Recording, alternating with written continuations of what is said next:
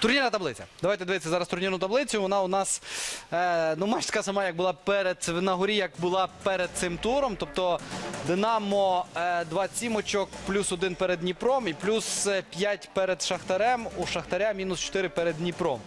Зоря, бачите, трохи підтягнулася. Металіст е, починає набирати. І я думаю, що він своє ще набере. Всього лише 6 очок від третього місця, ну правда, 10 від другого, але все рівно.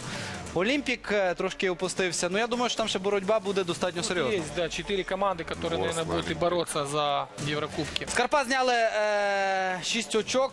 У Карпат було мінус 1, зараз вони вийшли Уже в 0. ноль, уже, Уже ноль. ближе к плюсу. І лічівець 3 очки, Говерла 8, 9, ну але Ільчівець Карпати поки що так би мовити достатньо складно цим командам буде виглядати.